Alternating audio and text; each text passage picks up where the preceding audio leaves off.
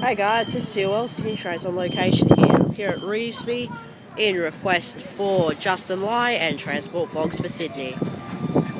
Now departing platform 1 we have Millennium set something the front four cars which I can't remember from the East Hills vlog. Front half M9, thank you DJ. Rear half M3, City Circle via the airport service. And we have a MacArthur service arriving on platform 3. I don't know whether you can see it very well.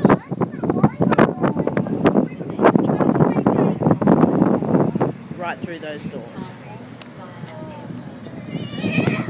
Front M set approaching platform number 2, terminating service. Front four cars is M21.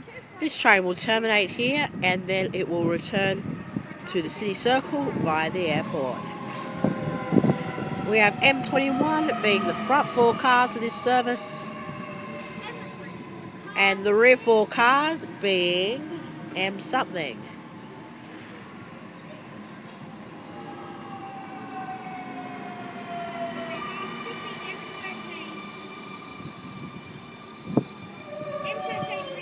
M13 is the rear four cars.